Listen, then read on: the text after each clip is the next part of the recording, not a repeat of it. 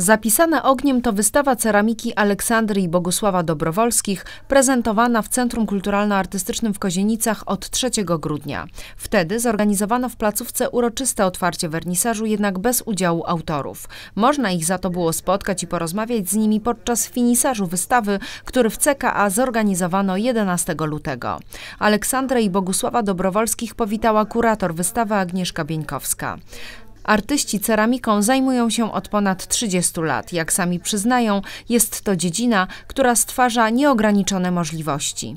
Napędem do działania jest też możliwość czerpania z innych kultur i krajów. Jeździmy na plenery międzynarodowe ceramiczne i poznajemy kultury innych krajów, szczególnie tych krajów wschodnich, gdzie Łotwa, Litwa, gdzie tam y, są inne techniki wypalania. No i to wszystko skumulowane znowu napędza do kolejnych poszukiwań. I tak jak mówię, to trwa i trwa i ta ciekawość jest z każdym razem rozbudzana do nowych doświadczeń. Artyści w Kozienicach pokazali zarówno prace użytkowe takie jak dzbany i misy, jak i niezwykłe artystyczne formy różnych rozmiarów. Ich marzeniem jest stworzenie pracowni, w której mogliby nie tylko prezentować swoje prace, ale także organizować warsztaty dla miłośników ceramiki.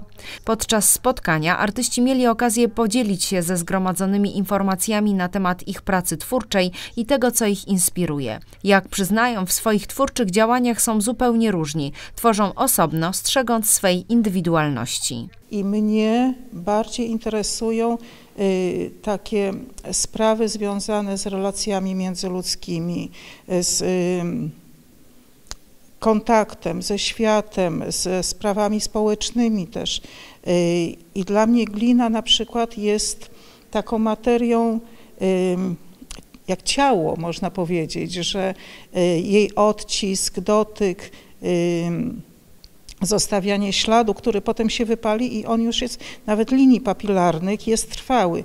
Dlatego moje prace, w moich pracach można dostrzec często właśnie odciski ciała, e, tak jak tutaj są dłonie, stopy.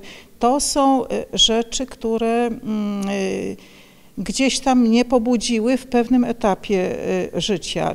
Bogusława Dobrowolskiego inspiruje świat przyrody, roślin i zwierząt. Ja tak w czasie studiów jeszcze Wahałem się nawet, czy studiować grafikę, czy, czy, czy rzeźbę, czy ceramikę właśnie. Wyszło na ceramikę, dlatego że w ceramice można to wszystko e, połączyć. I malarstwo, i grafikę, i, i rzeźbę. I w tej, w tej mojej twórczości tak mi się wydaje, że uzyskuję, mm, przynajmniej się staram uzyskać mm, takie naturalne ślady, czyli i kolor, i, i, i, i, formę, i fakturę.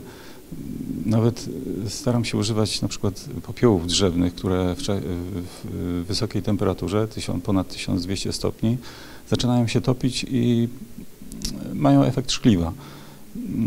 No i one są takie bardzo nieprzewidywalne po, po wypale, co mi właśnie najbardziej odpowiada. Mimo, że poprzez sztukę artyści poruszają inne zagadnienia, to ważne jest, jak sami mówią, by umieć patrzeć w tym samym kierunku. Ja nie mówię, że to trzeba to samo robić, ale podobnie patrzeć, prawda, żeby się móc podzielić w tej, tą chwilą.